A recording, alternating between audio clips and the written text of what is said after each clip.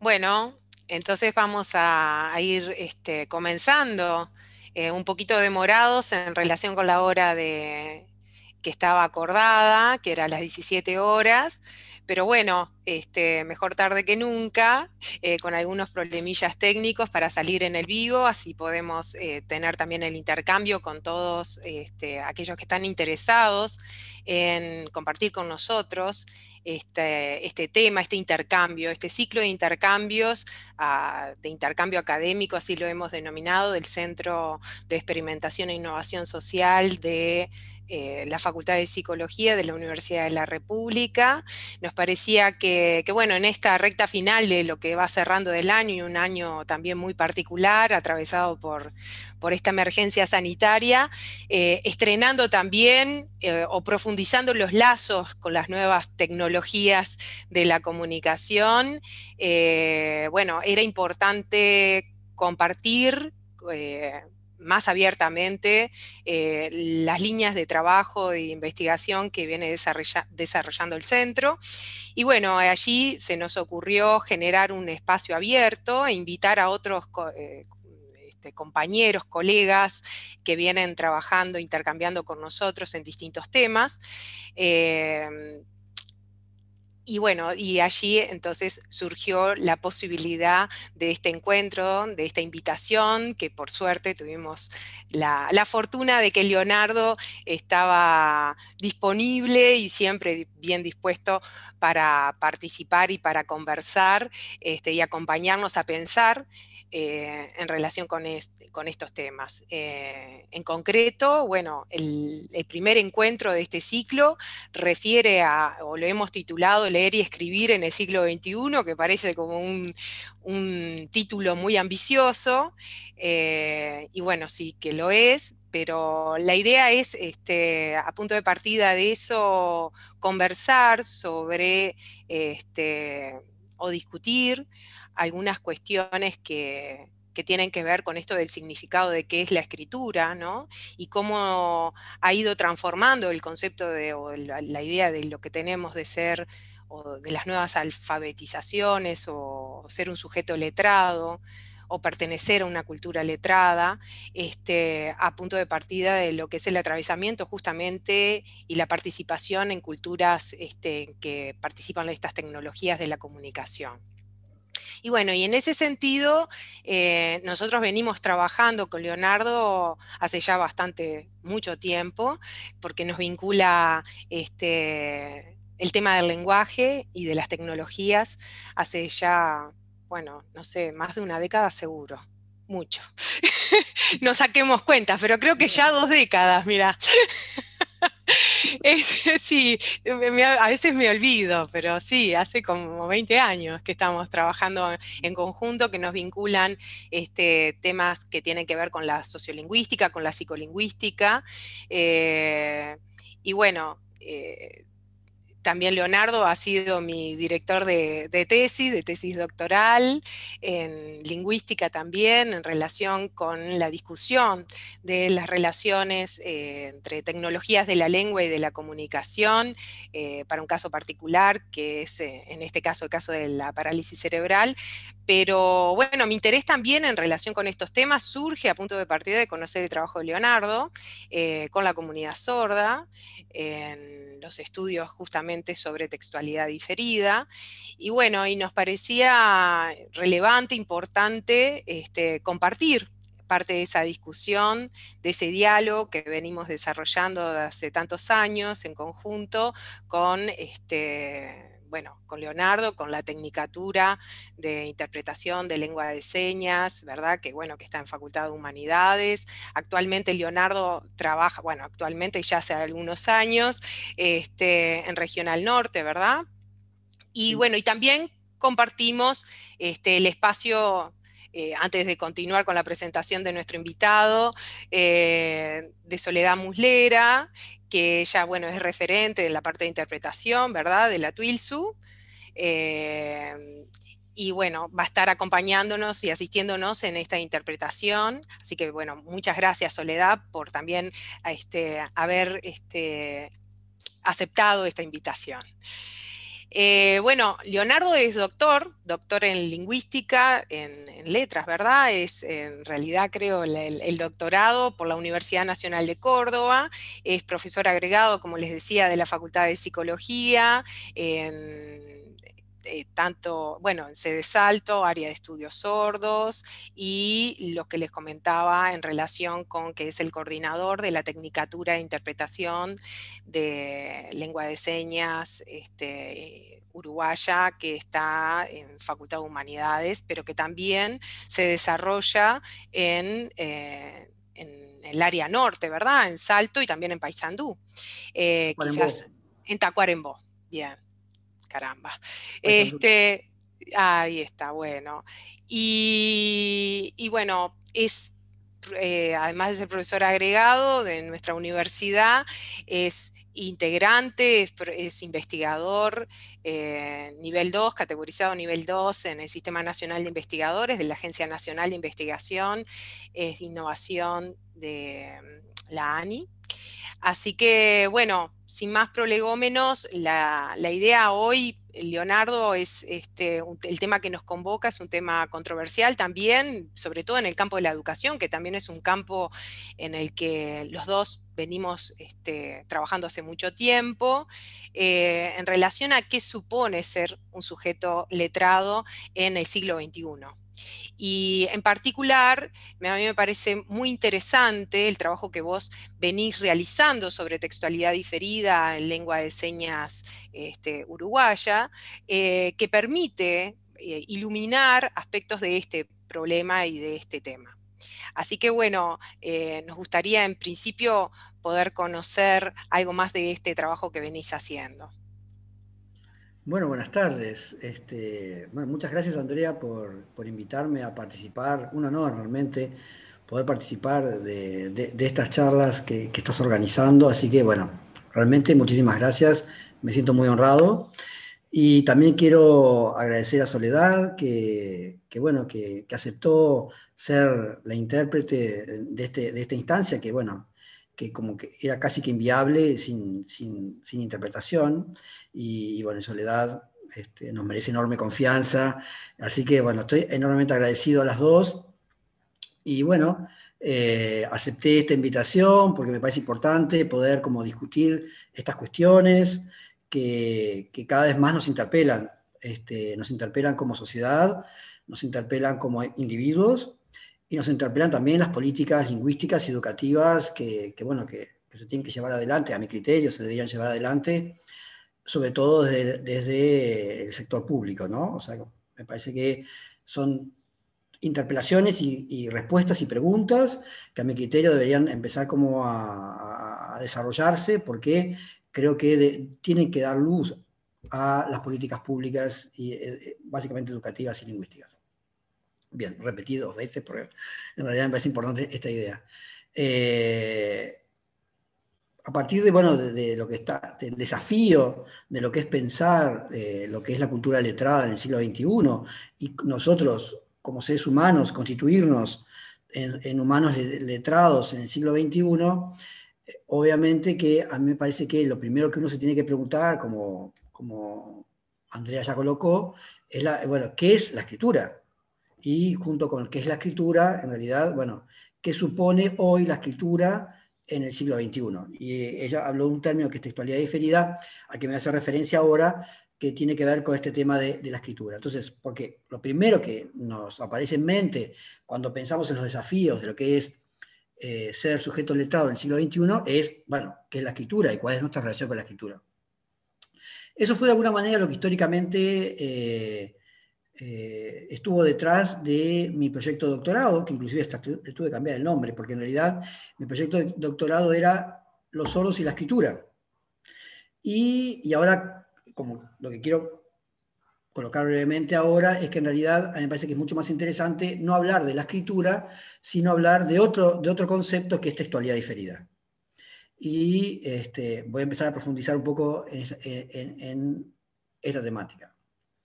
Eh, ¿Qué es la escritura? ¿Qué es la escritura?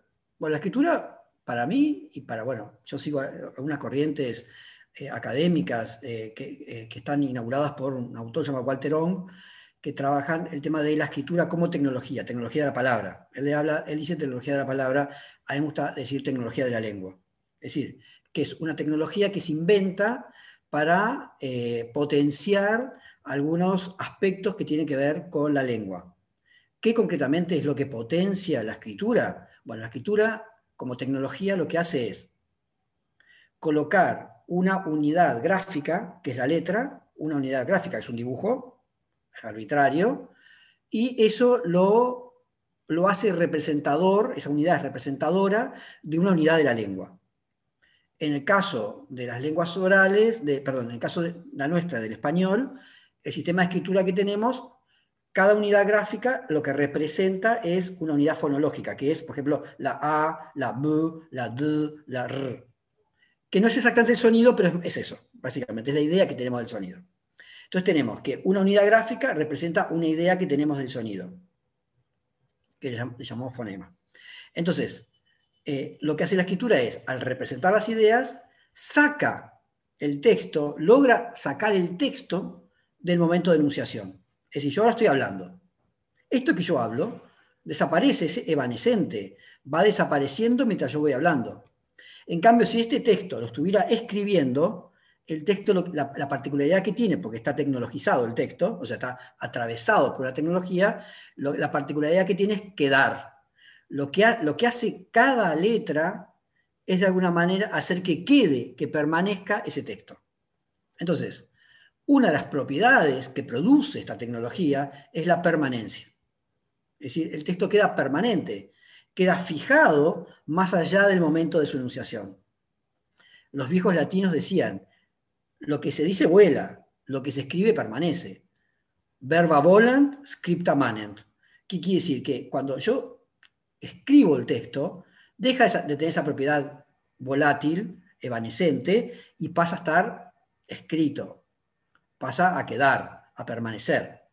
Y al permanecer, eso que es un ruido que me, me acompaña, bueno, en el caso de la lengua de señas sería este, aspectos visoespaciales que me acompañan, eso, cuando yo lo escribo, se vuelve un objeto.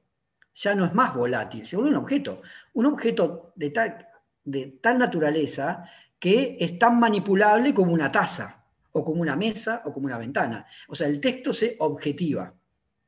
Entonces, la tecnología de la escritura lo que hace es que el texto permanezca, permanezca que se objetive. ¿Y qué ocurre cuando un texto permanece y se objetive? Lo que ocurre es que se separa del momento de enunciación. Ya no necesito al que lo está diciendo para que lo diga, sino que el que lo está diciendo puede morirse. Shakespeare se murió y yo hoy puedo hacer leer los textos que él escribió hace 500 años o 600, ya no sé cuándo fue, pero más o menos, son unos muchos años. Entonces, tenemos que hoy puedo acceder a textos que dijo alguien que ya no está más. ¿Por qué? Porque la tecnología lo que hizo es separar texto de contexto de enunciación y disponibilizarlo para poder ser, eh, tener acceso a este texto mucho tiempo después. Esto produce efectos sobre el texto y sobre la relación que tenemos con el texto. Porque yo, por ejemplo, con este texto que estoy diciendo, yo no puedo reflexionar no lo puedo planificar. Puedo decir cualquier disparate y se va diciendo. No puedo controlarlo, no puedo planificar sobre lo que voy a decir, no puedo elegir las palabras.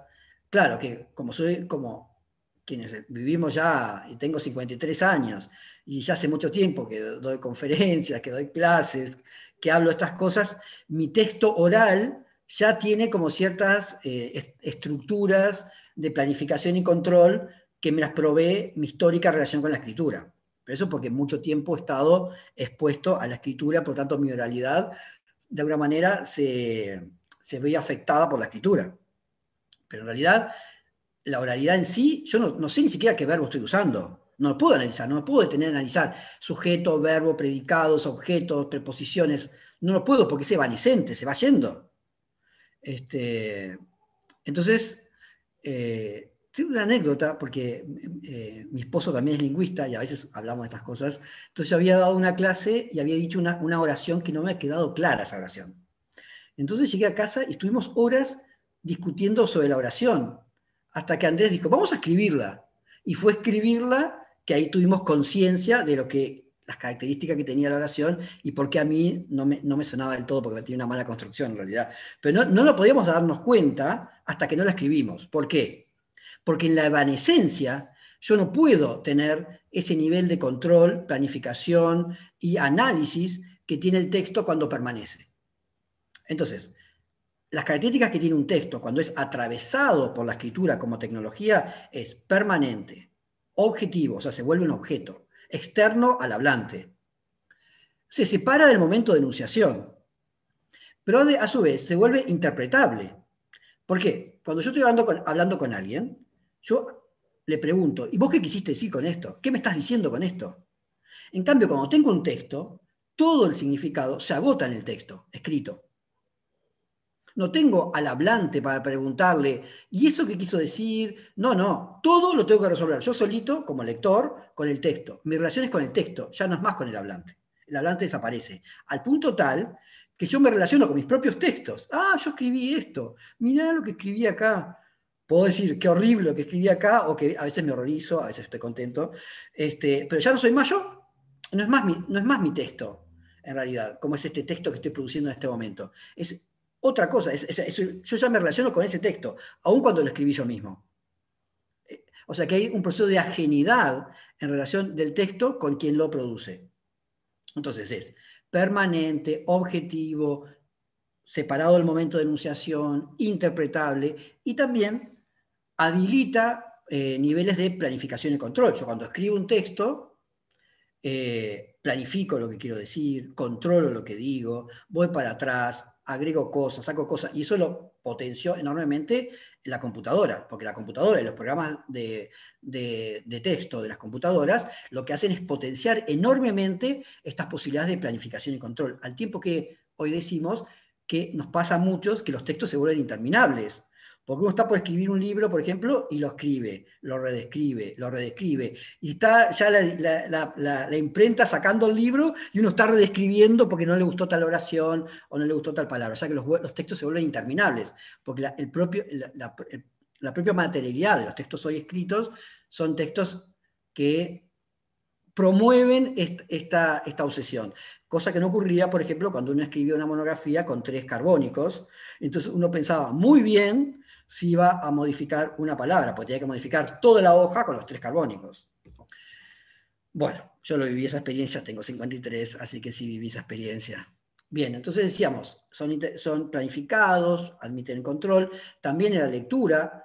Yo, por ejemplo, cuando recibo un texto oral, no tengo posibilidad de subrayar el texto oral, de sacar notas al costado, nada, el texto oral es el texto oral. Yo entenderé, no entenderé y punto. En cambio, con el texto escrito, sí puedo subrayar, sacar apuntes. Y de hecho, por ejemplo, en una clase, si yo quiero sacar apuntes de un texto oral que está diciendo el profesor o la profesora, lo tengo que, escribir y a partir de ahí lo puedo subrayar, etc. Pero recién porque está escrito. No lo podía hacer nunca en la propia oralidad. Y otra cosa que hace esta, esta tecnología es promover de forma muy fuerte los niveles metalingüísticos y metacognitivos. ¿Qué quiere decir con esto? Es que solo puedo reflexionar sobre el lenguaje cuando tengo el lenguaje objetivado. No puedo pensar que acá hay una palabra, o sea, ni siquiera existen, por ejemplo, la distinción entre oraciones, puntos, palabras. Todo eso pertenece a la escritura. En la oralidad, lo que tenemos es un sonido que discurre. Y nosotros, como hablantes, podemos ir reconociendo inconscientemente las unidades que hay. Pero no hay oraciones, no hay palabras, no hay nada en la oralidad nada explícito. Necesitamos lo que es el microscopio, el microscopio, que es la gramática, para poder analizar el texto. Entonces, solo lo analizo cuando tengo un texto escrito. En las prácticas orales no puedo analizar el texto. Como yo les conté, yo tenía la oración, éramos dos lingüistas, nos pasamos dos horas tratando de analizar una oración, hasta que no la escribimos, no la pudimos analizar. Y eso que tenemos el análisis gramatical al toque. Eh, entonces, el, el texto, la, escritura, lo que promueve es el nivel metalingüístico y también el nivel metacognitivo. ¿Por qué? Porque la escritura vehiculiza también unidades de pensamiento. Entonces, yo cuando veo escrito algo, veo algo que escribí yo, por ejemplo, imagínense mi diario íntimo. Yo escribí algo en mi diario íntimo. Lo leo, digo, ah, yo estoy pensando esto. O sea que el, eh, es, esa unidad de pensamiento queda objetivada en el texto, que a veces uno no puede pensar sobre su pensar. De hecho, hay muchas terapias, por ejemplo, la terapia sistémica que, a la que yo adhiero, bueno, yo soy terapeuta familiar sistémico, mandamos a veces como deberes escribir cosas. Porque al escribir, por ejemplo, una pareja que se lleva muy mal, decirles, bueno, ¿qué los enamoró? Ese ejercicio es muy interesante, escrito, porque cada uno por separado tiene que poner en escrito qué fue lo que lo enamoró de la otra persona. Y eso objetiva el pensamiento. Objetiva al punto que uno lo puede analizar y puede trabajar sobre ese pensamiento de una manera distinta. O sea que no estoy inhabilitando otras formas también de entender, de entender el propio pensamiento, como por ejemplo el psicoanálisis. Pero digo que la escritura es una herramienta interesante para poner afuera lo que uno está pensando. Entonces es, es un instrumento, es una herramienta que promueve los niveles metalingüísticos y promueve los niveles metacognitivos y metarepresentacionales. Bien, yo venía trabajando sobre esto. ¿Soledad, vamos bien o muy rápido? Bueno, gracias. Yo venía trabajando sobre este tema con los sordos, porque yo me interesaba cómo era el contacto de la comunidad sorda con la escritura, porque en realidad, bueno, la comunidad sorda históricamente tiene el tema que la lengua de señas, por lo menos la lengua de señas uruguaya, esto se puede discutir para otras lenguas de señas, pero la lengua de señas uruguaya no tiene escritura. Entonces, eh, toda la educación de los sordos partía del supuesto de que en la oralidad se hablaba en la lengua de señas y en la escritura se tenía que usar el español. Entonces, de alguna manera, los sordos, de alguna manera, estaban condenados, en el sentido que hay un sufrimiento, a que todo lo que escribieran tenía que ser escrito en una segunda lengua. No podían escribir en su propia lengua. Fíjense como a los oyentes hispanohablantes no pudiéramos escribir en español y todo lo tuviéramos que escribir en inglés. Desde la lista del supermercado, un poema de amor, lo que dejamos en la esquina de la heladera, hasta el paper que querés escribir. Todo en inglés. Entonces, hay un sufrimiento ahí, porque uno está siempre con una doble ajenidad, ¿no? Porque la escritura ya es una ajenidad y encima que sea en otra lengua, una doble ajenidad. Bien. Entonces, yo venía trabajando esto, y me interesaba, bueno, cómo era la relación de los sordos con la escritura, hasta que me di cuenta que en realidad los sordos espontáneamente, y porque el desarrollo tecnológico lo estaba habilitando, habían empezado a encontrar en los videos en lengua de señas la posibilidad de generar textos que tenían similitudes con los textos escritos. Y ahí empecé todo un camino, a recorrer un camino, para, eh, de alguna manera, para ver, entonces yo al principio decía, bueno, entonces la lengua de señas videograbada, hoy digo visograbada, la lengua de señas visograbada es escritura, es la escritura de la lengua de señas. Y bueno, ahí, entonces ahí, en mi, durante mi doctorado, me acuerdo en Córdoba, le hice en Córdoba, las charlas con mi tutora, y yo decía, Cecilia, yo, ¿qué diferencia, mi tutora Cecilia de Fagó, qué diferencia hay entre escritura y, la videografía. Yo tengo que encontrar esa diferencia, porque, porque no la entiendo. Es lo mismo. Puedo decir que es escritura. Y un día charlando con ella, ¿vieron cuando uno hace el clic y hace algo para tan simple, pero uno hace el clic, o sea, venís pensando sobre algo, venís pensando sobre algo, hasta que uno hace un clic y dice, ah, era esto. Y ahí me di cuenta que en realidad la diferencia que hay entre la escritura y, los y las visograbaciones es que la escritura es una tecnología que funciona de forma representacional. Es decir, es una escritura que es una tecnología que representa las unidades de la lengua. En cambio, las visograbaciones son una escritura registral. Es decir, no representa nada. Simplemente registra al hablante hablando. No representa la lengua, la registra. Y esa diferencia es radical. Y en esa diferencia, entonces, a partir de ahí, me destrabó todo y pude caminar a, a esto que voy a plantear ahora. Yo creo que, como históricamente, la única tecnología que teníamos para separar texto de contexto era la escritura, pensábamos que las propiedades de la escritura solo eran de la escritura.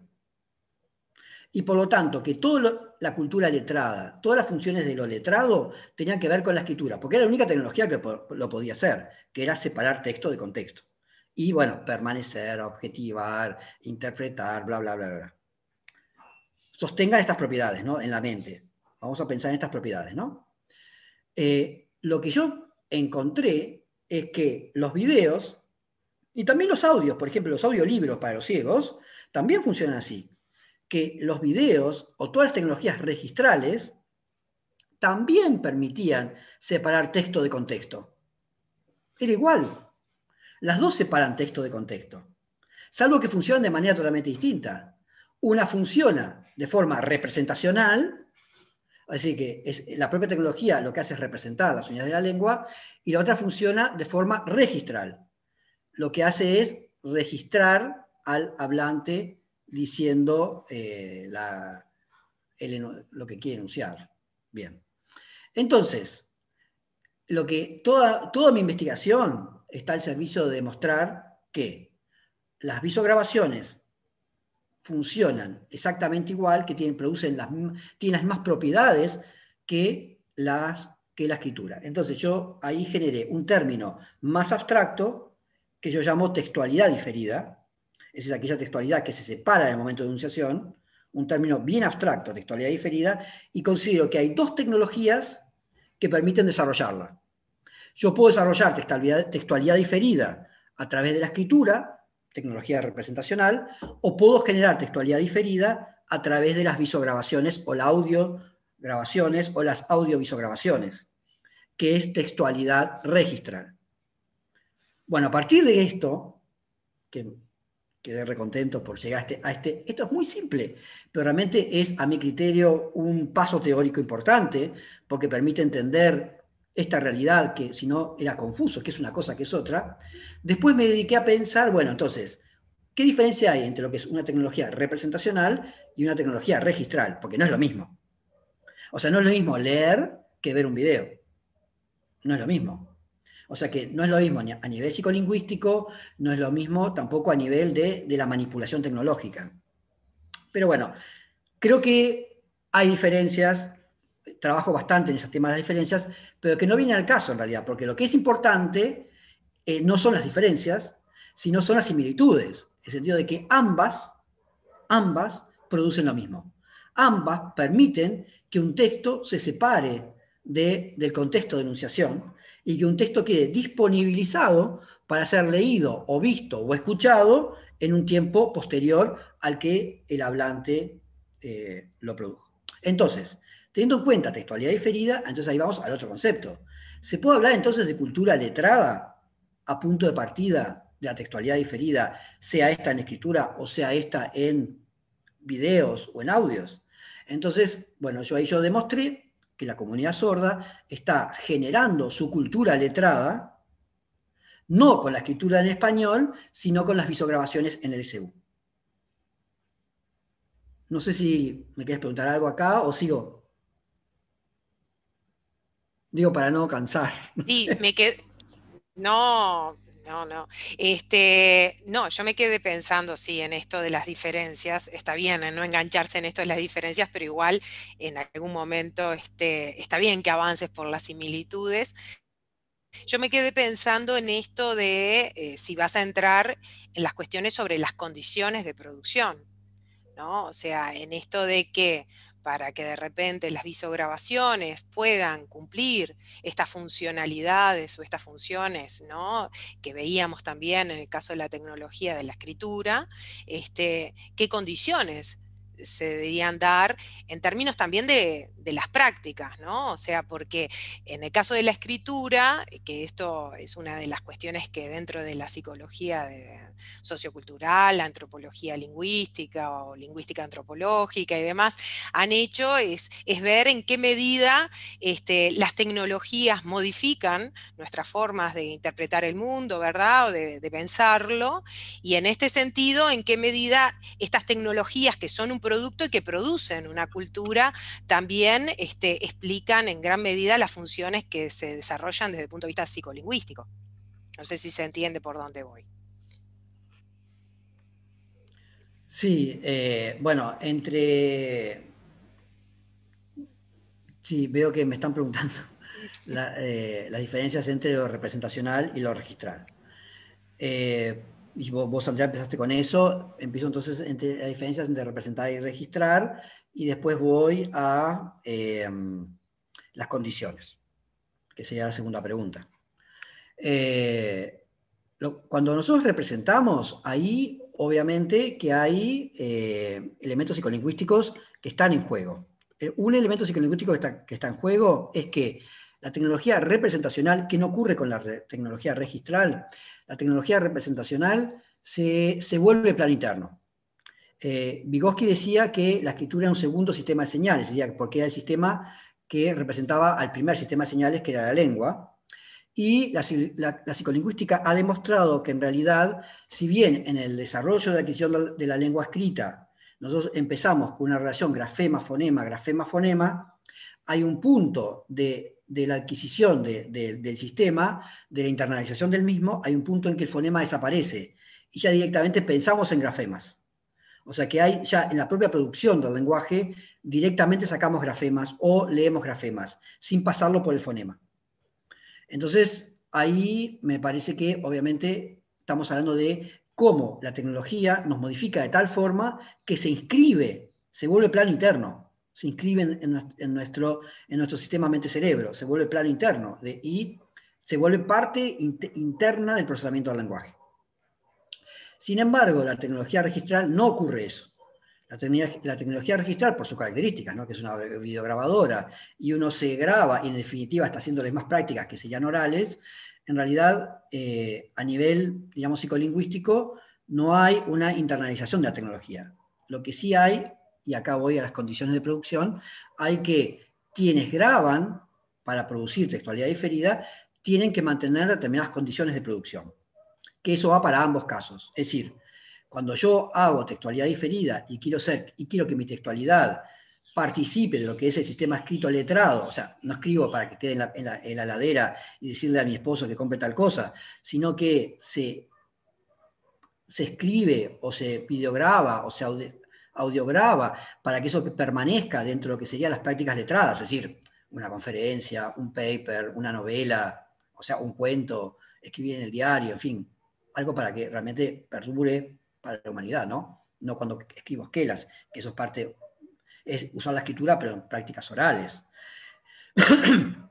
Las condiciones de producción hay un elemento sintáctico que tiene que estar presente, que es, yo tengo que, tengo que construir el texto de forma tal que pueda ser entendido por alguien que no comparte mi contexto. O sea que, a nivel psicolingüístico se diferencian porque una se internaliza y la otra no. Pero también a nivel psicolingüístico son parecidas porque en ambos casos quien escribe o quien lee tiene que poder dar cuenta de una forma sintáctica que es propia de la textualidad diferida y de la cultura letrada, que es una sintaxis que se agota en sí misma. Es decir, yo cuando leo un texto escrito con una sintaxis que se agota en sí misma, Gibbon le llamaría el modo sintáctico, a diferencia del modo pragmático, cuando yo estoy leyendo en el modo sintáctico, todo, todo el, contexto, todo el contexto tiene que sintactizarse. Por ejemplo, yo en el modo pragmático puedo decir, tráeme eso.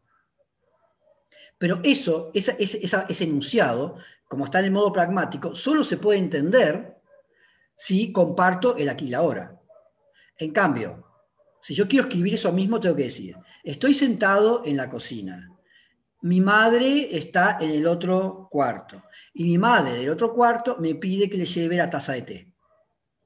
Eso, transformé el modo pragmático y todo, todo el contexto que lo, que lo estaba sosteniendo, que era tráeme eso, a el modo sintáctico, donde yo el contexto que antes era pragmático, o sea, el contexto que me rodea, lo volví sintáctico.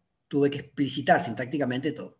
Entonces, el gran desafío que tiene la enseñanza de la escritura y, digamos, las prácticas de letramento, es que los niños y niñas, los estudiantes, no solo tienen que aprender a escribir o a visograbar, como tecnologías, sino que tienen que aprender a construir sus textos desde una, una sintaxis propia de lo que es la cultura letrada. O sea que el proceso de letramiento también es el proceso de sintactización de, de los enunciados. O sea, yo tengo que aprender a pasar de los enunciados del modo pragmático, que son los propios enunciados de la familia, de, de, lo que niñas y niños cuando entran a la escuela están acostumbrados, porque uno habla en modo pragmático, no habla en modo sintáctico, y tiene que aprender a descontextualizar los enunciados para el modo sintáctico. Entonces, a nivel psicolingüístico se diferencian en que uno es una tecnología que se internaliza y uno ya produce el lenguaje desde ahí, en cambio la otra tecnología es externa, pero a nivel psicolingüístico también tienen similitudes porque en ambos casos yo tengo que aprender a manejarme en el modo sintáctico, es decir, a sintactizar el contexto. Y otra diferencia, a mi criterio enorme, que hay entre la escritura y las audio y grabaciones, que tiene, que tiene que ver con que la escritura evolucionó desde la piedra a la computadora. Son siglos, milenios de evolución de lo que eran las escrituras primeras en piedras, en papiros, a lo que es hoy la escritura. Y esa, bueno, en el siglo XX la evolución fue brutal. En cambio, esa evolución todavía no ha ocurrido con las tecnologías de viso y audiograbación. Son tecnologías muy nuevas y por lo tanto son tecnologías que no tienen el mismo grado de manipulabilidad, manipulabilidad, manipulable, manipulabilidad. Bueno, de ser manipulables eh, de la misma forma que lo son, que lo es la escritura. Lo tenés que escribir, lo tenés que escribir. Sí, que lo, que lo es la escritura, porque en realidad la escritura es súper manipulable.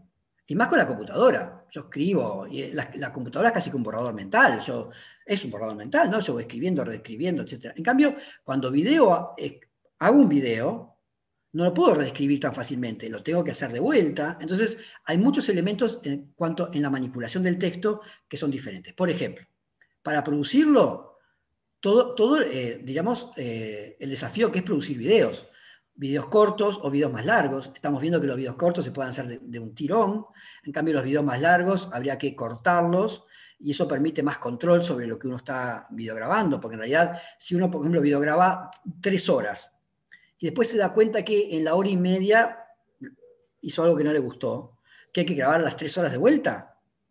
Entonces es algo que manipulable, mucho más difícil. Entonces, eh, eh, lo, que estaba diciendo es que la manipula para manipular es más difícil y para el lector también es más difícil. Porque subrayar, eh, escribir cosas al lado, hacer notas, en fin, la escritura tiene una, agilidad que todavía, que todavía, yo creo que de acá se va rápidamente, esto va a modificarse, este, eh, va a producir como cambios importantes en, la, manipulabilidad del texto visograbado. Entonces, eh, acá tenemos diferencias importantes entre una tecnología y la otra unas diferencias que son a nivel psicolingüístico y otras diferencias que son a nivel más de la tecnología y las posibilidades de manipulación, que tienen efectos psicolingüísticos. Porque en realidad, en la medida que yo tengo una tecnología que me permite manipular de forma más fácil el texto, me vuelve mucho más competente como manipulador del texto que una tecnología que no. Entonces, este, también, por ejemplo, todo el tema de hacer los videos, este, por ejemplo, el caso de los videos en lengua de señas, eh, que muchas veces se necesita, por ejemplo, mantener eh, un, script, un guion escrito para poder, entonces a veces se depende también de la escritura, porque en realidad, ¿cómo hago yo para escribir un, hacer un video de una hora? O lo hago en tramos cortos, o hago un guion escrito en español escrito, entonces volví a depender del español. Entonces, de alguna manera, eh, es, creo que el tema de la manipulabilidad es bastante distinto y creo que lamentablemente todavía las visograbaciones y las audiograbaciones no han avanzado del todo sobre este punto. Bueno, eh, y llegamos entonces ahora a cuáles son las condiciones de producción. Bueno, ya un poco hablé. Eh, las condiciones de producción en ambos casos tienen que ver también con la posibilidad de producir en el modo sintáctico. Y en el caso de los videos, eso tiene como hay que, hay que, hay que enseñarlo. O sea que lo que estamos viendo, por ejemplo, en la Escuela de Sordos de Salto, que es donde yo eh, he trabajado bastante, eh, lo, que se ha visto es que eh, es como un desafío enseñar, o sea, enseñar a los estudiantes sordos a volverse letrados en lengua de señas.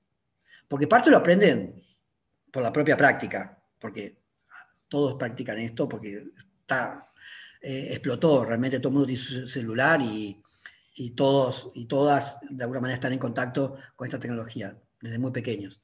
Pero la escuela tiene la función también de volver a sujetos letrados. Entonces, parte del desafío que a mi criterio ha sido las prácticas de letramiento en la escuela con estudiantes sordos, es cómo enseñarles a, mantener las condiciones de producción de un texto visograbado. Desde, por ejemplo, cómo tiene que ser el fondo.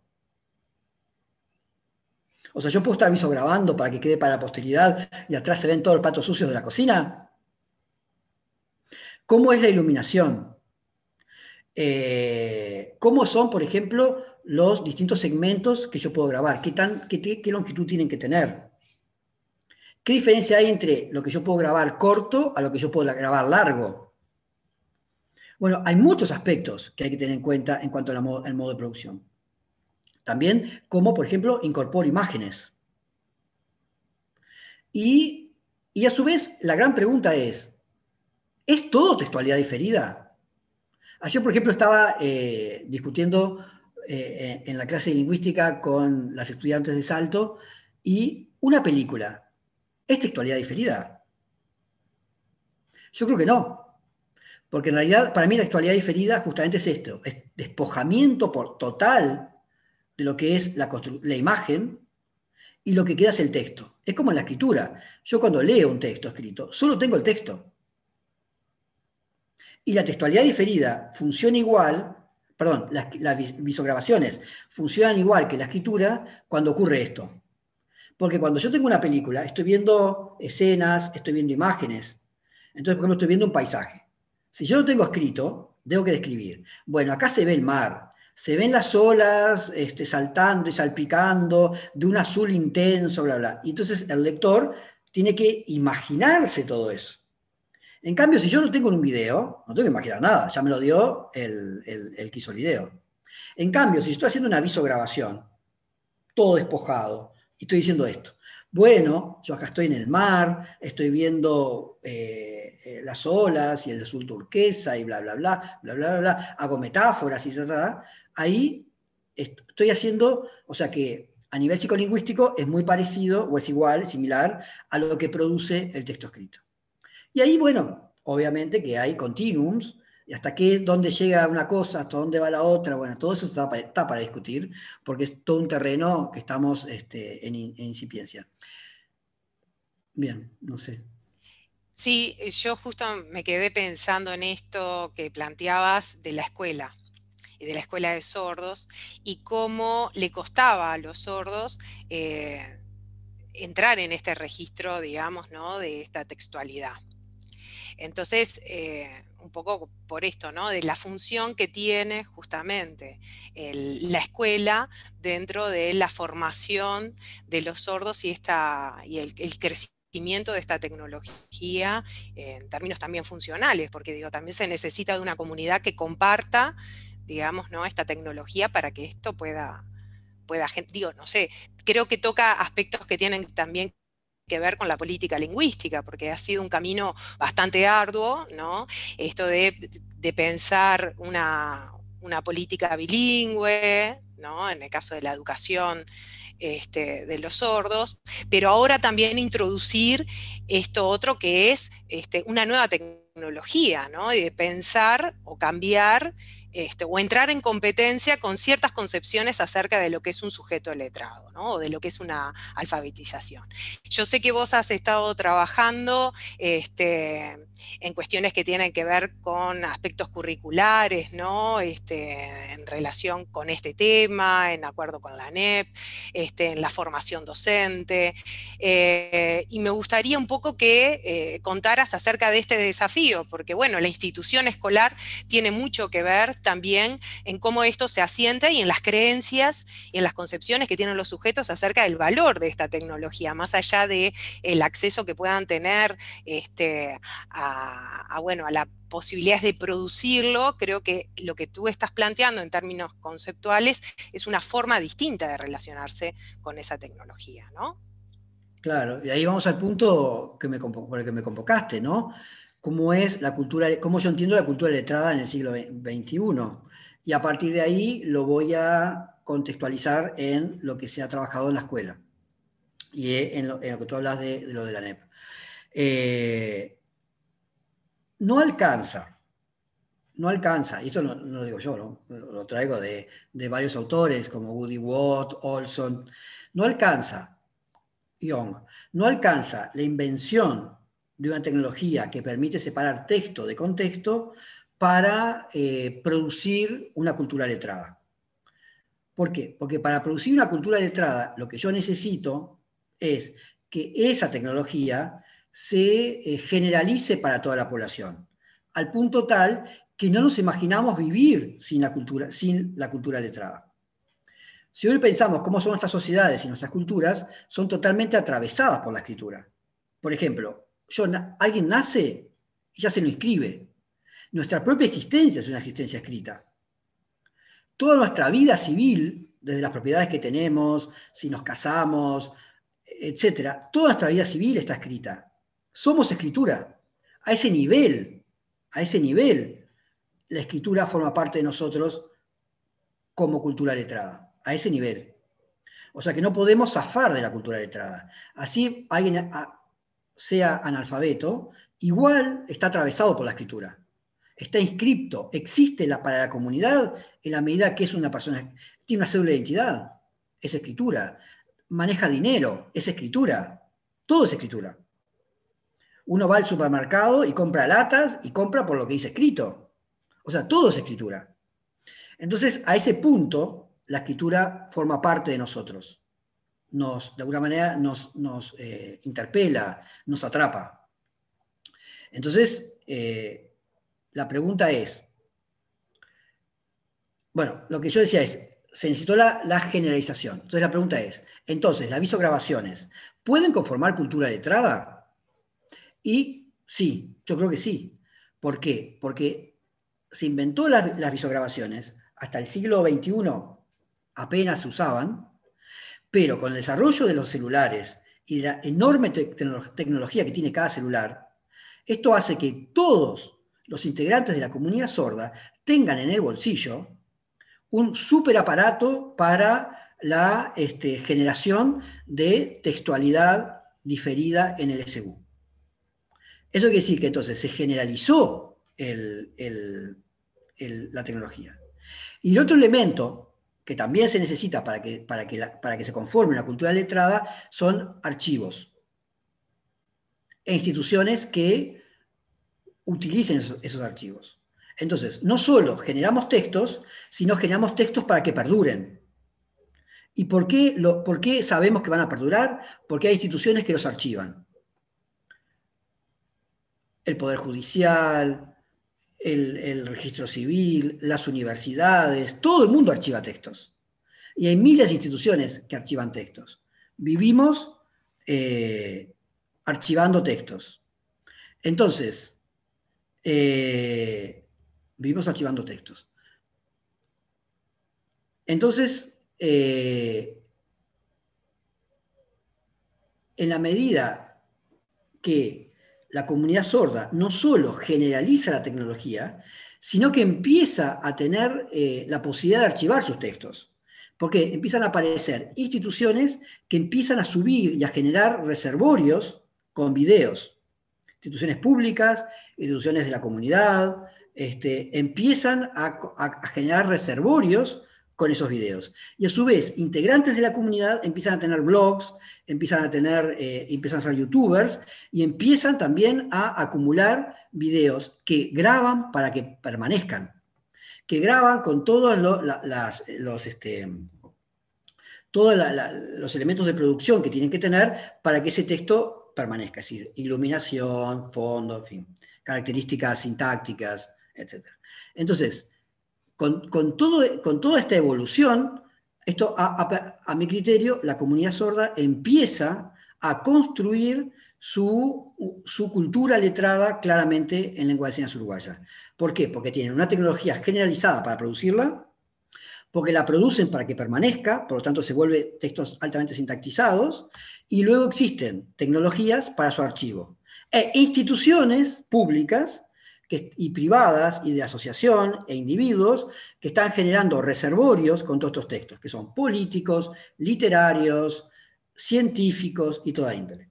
Luego, con todo este, este concepto teórico, con todo este concepto teórico, en la Tecnicatura de Intérpretes, que antes era Tecnicatura de Intérpretes, Lengua de Señas Uruguaya Español, TUILSU, eh, la Tecnicatura de Intérprete, solo, solo trabajamos en la oralidad, porque se consideraba que la lengua de señas no tenía escritura. Entonces no había traductores, porque solo había intérpretes. Los intérpretes son los que intervienen cuando hay una situación de oralidad, como está haciendo ahora Soledad. En cambio, eh, con, esta, con, este marco teórico, nos permitió modificar el plan de estudios. Y a, partir entonces de 2014 inicia la carrera de tecnólogo en traducción e interpretación. ¿Por qué?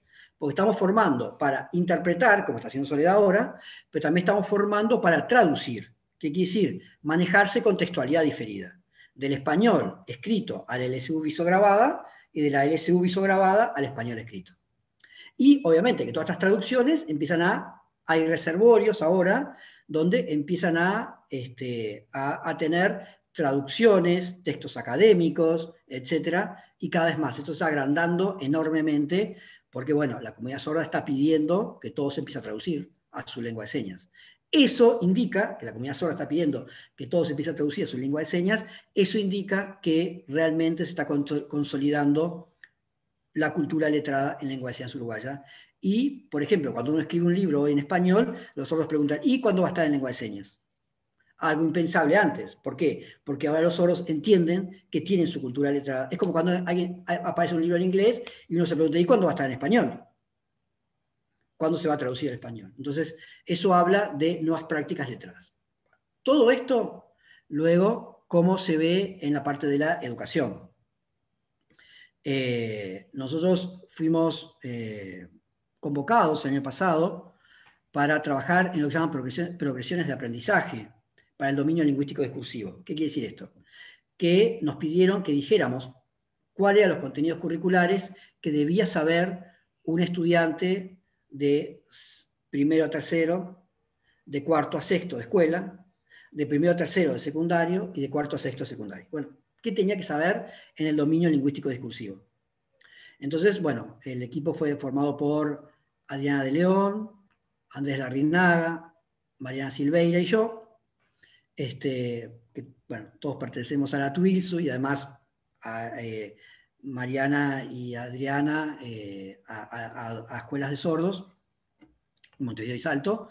Y eh, con esta experiencia, este, con esta experiencia que hemos tenido y con este marco teórico, lo que hicimos fue proponer cómo tendría que ser, digamos, la educación lingüística eh, en, toda la, educación pública uruguaya para sordos. Entonces, en primer término, hablamos de que tiene que ser una educación plurilingüe, en la medida que, bueno, hoy en día hay muchas lenguas en juego, y hablamos de plurilingüe porque eh, el concepto bilingüe anterior era centrarse en, en que los sordos tenían que aprender lengua señas uruguaya, que era su lengua materna, nativa, natural y primera, pero también conocer y aprender como hablantes nativos, o lo más parecido al estándar del español. El concepto plurilingüismo se centra en la habilidad materna, de la lengua materna, se centra en las competencias de la lengua materna y no, no deja de tener como persecutorio al modelo estándar de la segunda lengua. O sea, se, centra en la lengua materna. Y bueno, cada uno en la educación va a llegar a donde pueda, como quiera y lo que necesite en relación a, la segunda lengua. Y plurilingüe, porque además planteamos que hoy en día la comunidad sorda no solo tiene dos lenguas, sino que dada la, la, este, la cultura letrada en lengua de señas internacional, hoy los sordos, aparte del contacto oral que tienen en lengua de señas con los sordos argentinos o brasileros, Libras y LSA, respectivamente, también están teniendo acceso a videos escritos, eh, videos producidos, textualidad diferida, en, por ejemplo, el Sistema Signos Internacional, en American Sign Language, en Lenguas de Argentinas. Entonces, hoy en día la comunidad sorda no está aislada en su lengua de señas uruguaya, sino que la escuela hoy también tiene que permitir el ingreso de varias lenguas de señas que, los sordos necesitan ya para manejarse en el mundo global en el que están manejándose actualmente, un mundo global de la comunidad sorda letrada en lengua de señas. Entonces, nosotros ahí proponemos que el centro sea justamente las prácticas letradas en la lengua de señas. Por lo tanto, aprender justamente todas estas las formas de producción de cómo tiene que ser un video para que sea textualidad diferida, ¿no? En, el sentido del modo sintáctico en la lengua de señas, en fin, todos esos aspectos formales que tiene que tener un video o todos los aspectos que yo tengo que saber para poder realmente entender un video que estoy viendo. Porque una cosa que le puede pasar a un niño inicialmente es, ¿qué es esto? ¿Cómo, no tengo al, al enunciador adelante, ¿cómo yo me tengo, ¿Cómo puede ser que yo entienda un texto cuando solo tengo el texto y no tengo a quien lo dice? Eso de entender que quienes somos letrados entendemos que en realidad el significado tengo que sacar del texto, no le puedo preguntar a quién lo, a quién lo produjo lo que quiere decir, tengo que todo se reduce al texto. Entonces, bueno, nosotros proponemos justamente un cambio en esto donde ya no es más el centro la, escritura en español, que también es importantísimo, porque los sordos no pueden quedar eh, exentos de la escritura en español, obviamente ni ningún niño uruguayo. Y eh, lo que nosotros proponemos es justamente que, eh, que desde el letramento en la propia lengua, materna, nativa, primera, a partir de ahí empiecen las prácticas de alfabetización y de letramento en la lengua 2, que es el español, y eventualmente el inglés. Entonces, a partir de ahí nosotros generamos, bueno, ¿qué, tiene que manejar en cuanto a eh, lengua de señas uruguaya, videograbada, producida? ¿Qué, puede producir un niño en lengua de señas uruguaya de primero a tercero? ¿Qué puede leer un niño en lengua de señas uruguaya de primero a tercero? ¿Qué puede escribir en español un niño en lengua de señas uruguaya, en español, un niño sordo de primero a tercero? ¿Qué puede leer un niño sordo de primero a tercero? Y así sucesivamente, ¿no? Eso que incluye también las búsquedas de Google, etcétera, ¿no? Porque en realidad hoy el ser letrado es plurilingüe porque hay muchas lenguas en juego, con el centro en la lengua materna, hay muchas lenguas en juego, pluritecnológico porque hay muchas tecnologías en juego, hay tecnologías de Internet, tecnologías de archivo, tecnologías de búsqueda, hay infinidad en este momento de, tecnologías que tenemos que manejar y la escuela tiene que proveer. De hecho, con la Ceibalita creo que en parte se está pensando en eso o se pensó en eso cuando se pensó en las cebalitas, ¿no? el pan ceibal, y a su vez pluriletrados, ¿no? O sea que poder ser letrados en lengua de señas, letrados en español, letrados en inglés, letrados en lengua de señas internacional, en fin. O sistema de signos internacional, como se dice en realidad. Entonces hoy estamos hablando de niños plurilingües, pluriletrados, pluritecnológicos. Y cómo la educación debería cambiar eso. Y ahora, a partir de esto, esto fue lo que hicimos el año pasado, los mismos, más una persona más, Lucía Holly, presentamos un proyecto de investigación que acaba de ser, bueno, presentamos en CSIC para pedir financiación, todavía no sabemos nada, estamos en la dulce espera, pero acaba de ser aprobado por el Comité de Ética, ya así que ya estamos con carta, eh, con luz verde como para empezar a trabajar, o sea que podríamos, si no tenemos financiación, ya podríamos ejecutar. Hoy me acaba de llegar el del comité de ética que, lo habían aprobado, este, pues estoy contento con eso, eh, donde estamos planteándonos eh, ver cómo está funcionando, eh, digamos, las visograbaciones y las audiovisograbaciones en oyentes. Y comparar, digamos, el, el, comportamiento de la cultura letrada, pluriletrada y pluritecnológica para la comunidad sorda, para la cual el español funciona como una segunda lengua, y ver cómo es el comportamiento de la cultura letrada, pluritecnológica, pluriletrada, pluritecnológica y plurilingüe para los oyentes, para quienes el español escrito y el español grabado en los dos casos, es primera lengua. Y bueno, nuestra idea es empezar con la comunidad académica, así vamos a empezar con eh, estudiantes y docentes en, en, en, allá en Salto, y porque en realidad en el fondo la idea que está atrás es cómo, promover para que la escuela, la escuela, no la escuela de sordos, la escuela en términos generales puede incorporar esta idea de, que hoy sus educandos son plurilingües, pluritecnológicos y pluriletrados. Y que hoy, en realidad, hay muchas comunidades de oyentes, muchas comunidades de oyentes, que les parece más interesante generar su textualidad diferida en, a través de las visograbaciones y no de la escritura. Y la escuela no está pudiendo, de alguna manera, recuperar este tema. O sea que la escuela sigue como muy pegada a lo que yo llamaría una ideología escriturocéntrica, es decir, a creer que la cultura letrada es solo español escrito, entonces la, escuela está como muy obsesionada por la enseñanza del español escrito, que me parece perfecto. Yo no defiendo totalmente con que la escuela tiene que enseñar el español escrito, porque el español escrito es básico para manejarnos en la cultura letrada, pero creo que también hay que reconocer que los nuevos sujetos plurilingües, pluriliterados y pluritecnológicos también están construyendo su textualidad diferida en otras modalidades tecnológicas y que son atendibles y que la escuela podría trabajar y, creo que, ayudaría mucho a que muchas personas que, que se desafilian de las instituciones escolares queden, queden en ellas, porque se van a sentir como mucho más relacionadas con sus propias identidades. Yo, por ejemplo, siempre tengo la anécdota. Yo soy vegetariano y me considero una persona que, que, conozco bastante el tema de los debates actuales, del vegetarianismo, del veganismo, este, y nunca leí un texto sobre eso. Yo solo me he manejado con textualidad diferida, viso, audio viso grabada. Entonces veo bloggers, veo youtubers y, y de alguna manera toda mi cultura letrada en relación a ser vegano y vegetariano, no soy vegano, soy vegetariano, pero bueno, me interesa la discusión. Por ejemplo, está el, vegano cordobés, el eh, mundo, mundo vegano, en fin, hay muchos donde, donde yo me estoy como cultivando y me he vuelto un, sujeto letrado en esas áreas, conozco bastante el tema y nunca leí nada, solo he, he aprendido, he internalizado conocimientos y me manejo con exclusivamente audio y grabaciones sobre la temática, porque decidí que así lo quería hacer, en parte porque para experimentar, y en parte porque me divierte, en fin, este, así, porque yo creo entonces que todos nosotros, y ahora con la, con la, con la pandemia y el uso de, de todas estas nuevas tecnologías, esto se está promoviendo enormemente. Es decir, estamos ya acostumbrados a ver videos que nos mandan los profesores y leer las clases viendo el video. O sea que en realidad cada vez más esto se está promoviendo. Entonces, me parece que está bueno colocar un marco teórico para que la escuela pueda reflexionar, la escuela y el secundario y la propia universidad podamos reflexionar sobre todo esto y podamos empezar a incluir la textualidad diferida, pluritecnológica, pluriletrada y plurilingüe en nuestros contextos áulicos. He dicho.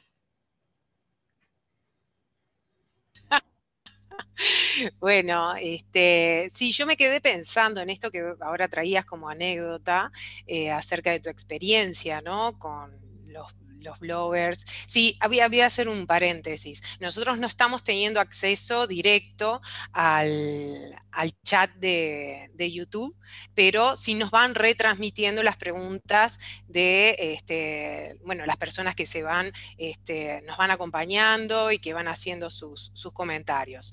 Así que bueno, este, agradecerles a todos los que ya vemos que están compartiendo, han compartido este, sus inquietudes y algunas preguntas que, bueno, que la idea es que puedan seguir llegando, así vamos a dejar los últimos minutos de, conversación un poco para retomar algunas de ellas. Pero yo me quedé pensando en esto de, esta textualidad diferida en lengua de señas y también me acordaba de una anécdota, antes de hacerte después una pregunta eh, más metodológica eh, y que tiene que ver con esto de, lo ético, en relación a vos estar trabajando este, con la cultura sorda, ¿verdad? Con la comunidad sorda desde tu lugar como oyente, que es algo que, hemos, eh, justamente que compartimos otros escenarios de formación y en los que nos hemos este, hemos venido conversando en el último tiempo, ¿verdad? Sobre todo por el enfoque que, bueno, ahora que comentabas esta investigación que están iniciando, eh, tiene que ver con, esto de cómo tu posición como, investigador y la perspectiva que has desarrollado para aproximarte a este temas de, estos temas que tienen que ver con las tecnologías y las tecnologías del lenguaje. Pero previo a eso, previo a, ya te la dejo instalada la pregunta, ¿no? El comentario para que después lo, comentes. Pero previo a eso, yo me acordaba de una anécdota eh, que compartiste cuando estabas todavía desarrollando tu tesis doctoral, que era también en esta investigación que vos estabas haciendo de textualidad diferida, que en ese momento creo que, no sé si hablabas, capaz que sí, ya, ya hablabas de textualidad diferida, este, porque veía textos tuyos del 2015 o del 2014 que ya traías esa idea, em, que hablabas de esto de eh, que había, estaba la posibilidad de la escritura de la Biblia, ¿no? Que vos habías visto justamente que eran, no sé si eran los testigos de Jehová, que habían hecho una este, versión eh, escrita eh, en realidad en, textualidad diferida este, para la comunidad sorda, ¿puede ser? Entonces yo me quedé pensando en esto de compartir y de, bueno, de cómo las múltiples alfabetizaciones, de eh, si existía experiencia, más allá de la que venimos desarrollando y la que tú venís impulsando en relación con esto de la textualidad diferida de la lengua de señas uruguaya, este, en otras partes y si está la posibilidad de, cómo compartir, ¿no? O sea, si eh, pensando, por ejemplo, en esto de evangelizar, que la escritura ha tenido tanto que ver ¿no? en, ese, en ese acto, em, eh, si, hay posibilidad de compartir este tipo o distintos tipos de textualidad diferida eh, en diferentes comunidades sordas de diferentes lugares ¿no? del mundo.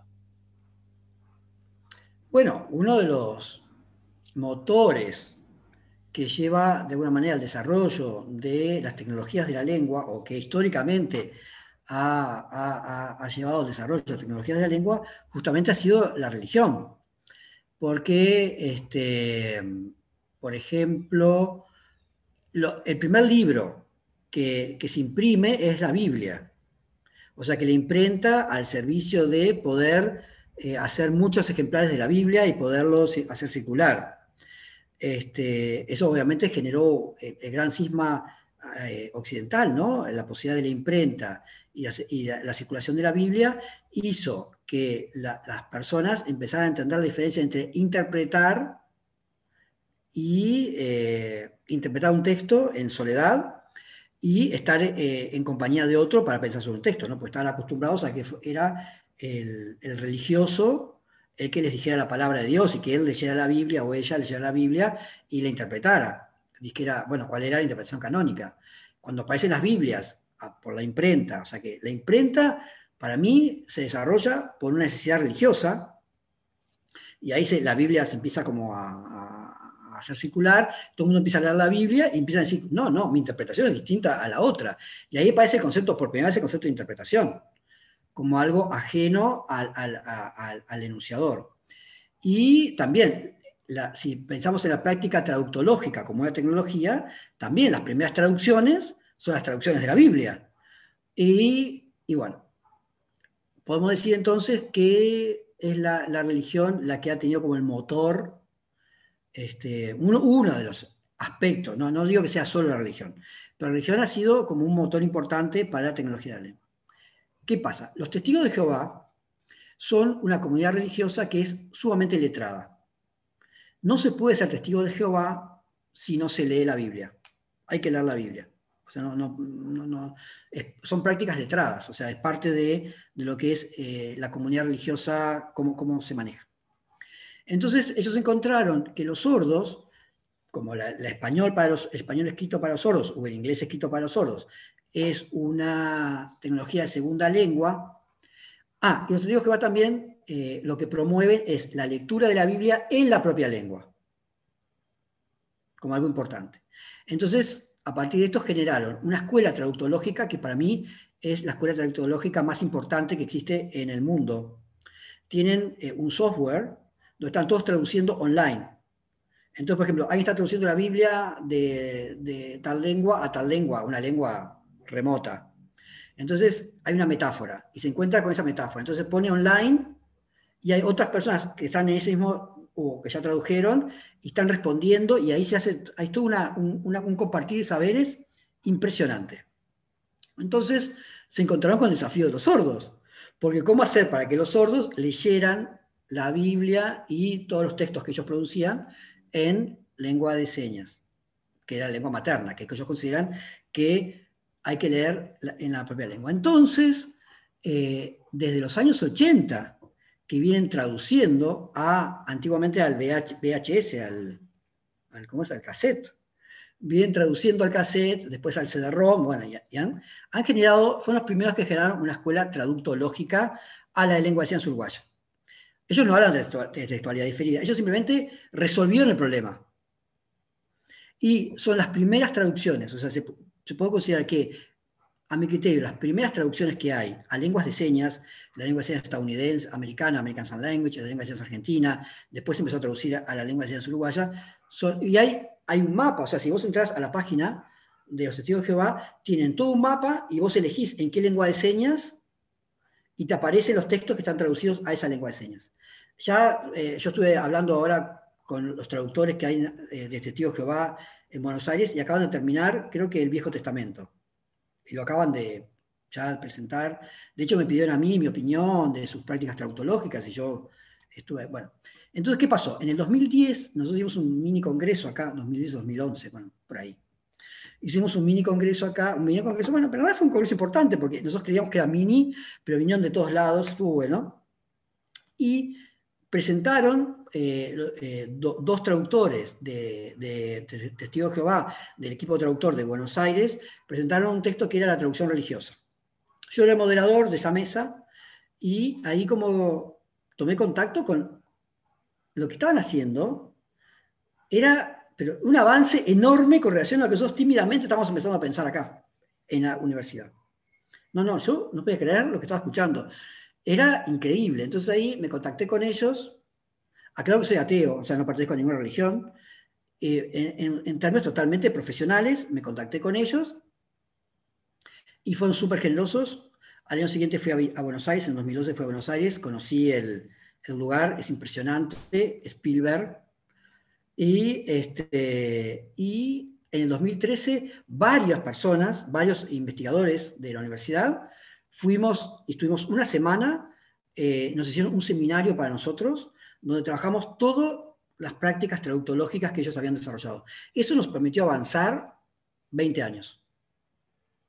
Y bueno, a partir de ahí fue que hicimos el cambio de, el cambio de, de plan de estudios para incorporar, eh, digamos, los traductores en la formación de traductores y, bueno, si bien nosotros también desarrollamos luego nuestra escuela traductológica, que no es exactamente igual, porque bueno, obviamente que las traducciones científicas son distintas, tienen otras características, este, pero bueno, todavía mantenemos como muchos aspectos de lo que aprendimos en aquel seminario que generosamente nos brindaron durante una semana. Trabajamos cuatro horas por día. Durante una semana se ocuparon de nosotros y nos mostraron todo, todo lo que hacían, este, algunas cosas nos sirvieron, otras no. Bueno, sería muy largo detallar todos los temas traductológicos que está ahí atrás, ¿no? Pero evidentemente muchísimo de todo esto se está incorporando, se incorporó en, eh, en la enseñanza de cómo traducir a la lengua de señas. No, realmente avanzamos 20 30 años con lo que ellos nos, brindaron.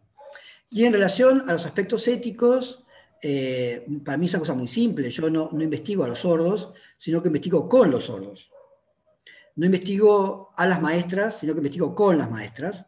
Por lo tanto, yo no soy investigador solo, sino que ahora estoy acá hablando, pero en realidad somos un equipo que está compuesto por maestras, maestros, instructores, instructoras, sordos, oyentes, lingüistas, en fin, una diversidad. Y entre todos investigamos estos temas que nos interpelan a todos, en realidad. Entonces, me parece que el aspecto ético que hay que tener en cuenta que en mi caso, ¿no? Yo no investigo personas, sino que investigo con personas. Y eso, ese cambio preposicional es muy importante, ¿no? Eh, para mí, la total humildad y, la idea de que somos un equipo, un equipo de amigos y de investigadores, de colegas, y sobre todo de amigos. Somos muy amigos todos. Y, mucha confianza mutua. Entonces, este, creo que eso es lo que hace a eh, confiar entre nosotros, querernos, compartir, compartimos la vida, aparte de la investigación, compartimos la vida. Que bueno, también pasa eso contigo, ¿no? Este, compartimos cosas, somos amigos, aparte de investigadores. Entonces, creo que esa es la clave, ¿no? La clave para desarrollarse en este mundo, este mundo que a veces es tan siniestro, tan competitivo, tan opresor, donde a veces los investigadores generan relaciones de opresión con las personas con las que, a las que investigan. Entonces, me parece que justamente una, una ciencia que sea decolonial, que no oprima, que aparte, además entienda que se, ubica en las fronteras y en los márgenes de comunidades que han sido históricamente oprimidas. Entonces, bueno, para mí la única solución es justamente eh, investigar con, que además no me sale de otra manera, ¿no? Son todos amigos, investigamos juntos, pensamos juntos y también desde ahí pensamos la objetividad, ¿no? No hay mucha objetividad, en realidad hay explicitación de las condiciones subjetivas por las cuales, desde las que investigamos y políticas. Claro, es una posición política, digo, en definitiva, también ubicarse desde ese lugar, ¿no, Leonardo? Este, entonces, bueno, nos han, nos han llegado algunas eh, preguntas por el chat, creo que hemos respondido todas. No sé si hay alguna más en particular que yo por lo pronto también de las preguntas que tenía hoy y de la invitación, este, eh, bueno, acá dicen que ya no, no hay más preguntas que estas. Em, de las que fuimos compartiendo. Eh, nos quedan escasos dos minutos. Son y, 29 tengo yo. Pero, por favor, este, ah, bueno, nos dicen que nos agradecen, hay agradecimientos, me imagino principalmente para, para este, nuestro invitado, que es Leonardo Peluso. Bueno, agradecerte. Eh, muchísimo, eh, por supuesto, un, referente para nosotros en, nuestro tema, en nuestra casa de estudio, bueno, ni que hablar, eh, un compañero con el que nos formamos, además algunas de, de, las personas que han participado y preguntado, ¿no? Este, también eh, han sido parte, han formado parte de ese camino, el caso de, Karen, bueno, ahí veía también que estaba para Ivanú en la vuelta, acompañándonos. Este, muchas gracias todos amigos, todos amigos. Este, Mariana también. Así que bueno, pero el interés. Mariana es una de las investigadoras. Mariana, que también preguntó, también es una de las investigadoras de este proyecto. Fantástico. Quiere decir que también es, algo que, además de darnos el apoyo entre nosotros, también siempre nos interesa. Estamos eh, trabajando en campos vinculados o parecidos y siempre nos interesa saber qué, qué es lo que están haciendo nuestros amigos, cómo, qué, en qué están pensando y cómo nos ayudan a seguir pensando algunas cosas que, que nos inquietan y desde qué lugar también lo hacen. Por eso, bueno, un placer Leonardo, que hayas aceptado nuestra invitación de, bueno, de lo que nosotros venimos haciendo desde el Centro de Investigación. Este, una invitación a todos también a participar, a acercarse. Este es un centro de puertas abiertas, ahora este, de unas puertas eh, lo abierta que se puede en términos de, de este otro espacio, de este otro medio digital, ¿verdad? Este, pero bueno, eh, abiertos a, este intercambio que, bueno, que bienvenido sea. Así que bueno, agradecerte por tu generosidad, por tu espacio y, bueno, por compartir lo que venís haciendo con todos nosotros. Eh, bueno, amigos, bueno, gracias Leonardo. No sé si hay algo más que quieras decir.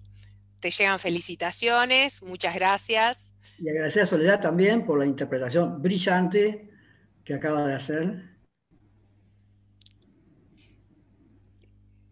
Es la, es la intérprete estrella. Los estudiantes también están saludando. Gracias, Soledad. Muchas gracias. Saludos a todos los estudiantes que están ahí también. Muchas gracias. Esto Claro, por supuesto, va a quedar grabado, así que bueno, este, tendrán posibilidad después de, seguirlo recreando y discutiendo. Este, así que bueno, muchas gracias de nuevo, Leo. Gracias a todos. Se convierte en textualidad diferente. ¿Eh? Se va a convertir. Bueno, por eso mismo, por eso mismo. Exactamente. Bueno, eh, muchas gracias a todos y bueno, hasta la próxima. Queda abierto el ciclo, además, invitarlos que próximamente van a, va a quedar abierto este, a otros encuentros, así que bueno, estar atento en las novedades de, de, la página web de facultad y de las redes, porque bueno, vamos a ir haciéndole llegar las invitaciones a los otros encuentros que, que, bueno, que va a seguir organizando el Centro de Experimentación e Innovación Social de la Facultad de Psicología. Bueno, de mi parte, despedirme y hasta un próximo encuentro. Gracias.